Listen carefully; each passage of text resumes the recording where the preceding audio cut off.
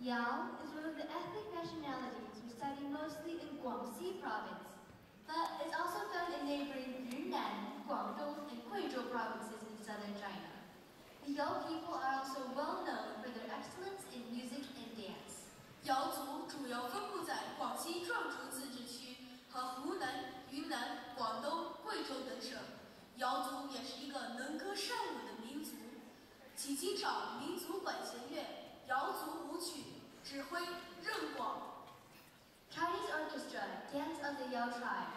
Director Huang Jian. Please enjoy.